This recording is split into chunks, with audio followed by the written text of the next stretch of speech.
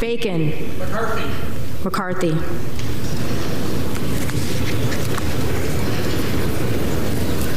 Dumbass.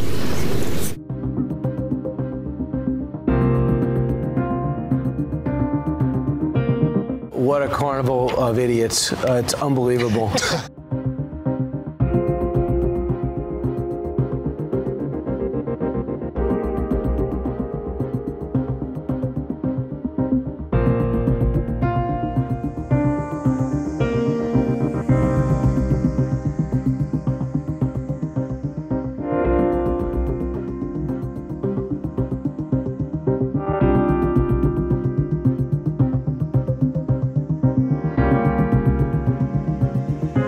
simple questions that I asked to some Republicans over the weekend about the importance of getting a speaker as soon as possible showed we have a few sensitive little snowflakes in Congress.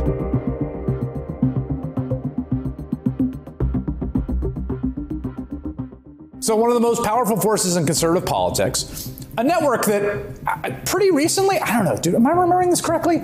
Paid nearly $800 million to settle a lawsuit about its own involvement in the coup, is bullying individual members for Donald Trump and Jim Jordan so the coup team can get back together wielding their power.